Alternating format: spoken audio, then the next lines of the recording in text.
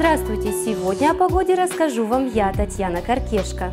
Партнер прогноза погоды на Пятом канале «Радио Мир». Настройся на волну 104,8 FM. Эм. Проведи день под любимые мелодии. Хорошо звучит. Радио Мир в Канске. Телефон рекламной службы 217 61. Далее прогноз синоптиков на ближайшую пятидневку.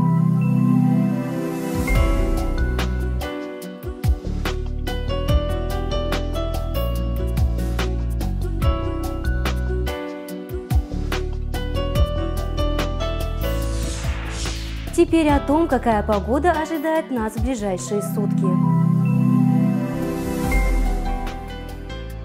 18 октября переменная облачность, небольшой снег, ветер восточный 1-3 метра в секунду, атмосферное давление 750 миллиметров ртутного столба, температура ночью минус 4, минус 2, днем плюс 2, плюс 4. И это все на сегодня. Тепла вам и удачи!